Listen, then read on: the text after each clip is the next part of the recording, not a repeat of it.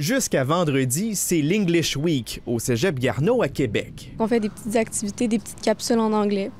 Je pense que ça peut nous aider. Là, c'est quand même la deuxième langue euh, Canada. là. Le Cégep invite les étudiants et enseignants à parler en anglais à la pause du midi ou encore dans les salles de cours. Moi, la semaine de l'anglais, j'ai pas d'une réticence, mais promouvoir le français, j'aimerais ça aussi au sein du cégep. L'initiative a rebondi à l'Assemblée nationale et a fait beaucoup réagir, dont le ministre de la langue française. Je m'insurgerai pas parce qu'un cégep francophone fait à l'occasion une semaine favoriser l'apprentissage de l'anglais. Mais au même moment, juste à côté, sa collègue ministre de l'Enseignement supérieur a un avis différent.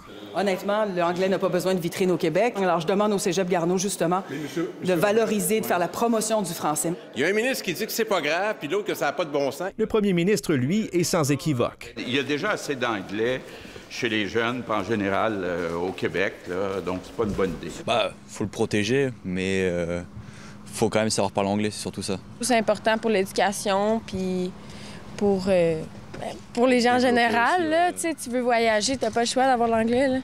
La direction du Cégep a refusé nos demandes d'entrevue. Par écrit, elle soutient que, comme tous les autres cégeps, le Cégep Garneau remplit les mandats qui lui sont confiés par le ministère de l'Enseignement supérieur. Parmi ces mandats, celui de développer les compétences prescrites par les devis ministériels, dont celle en langue anglaise. Foutaise, foutaise, là, foutaise. Les groupes de défense de la langue française rappellent la direction à l'ordre. Ils font la promotion et la valorisation de la langue qui écrase et arrache le français au Québec. Ça ne va pas, là.